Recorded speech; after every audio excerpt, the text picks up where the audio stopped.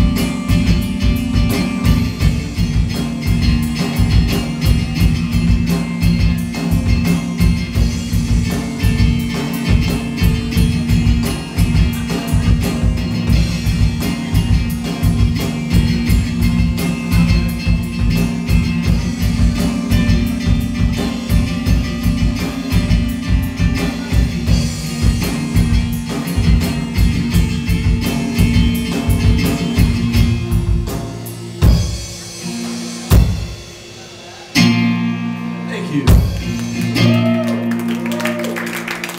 So this one's called Bright New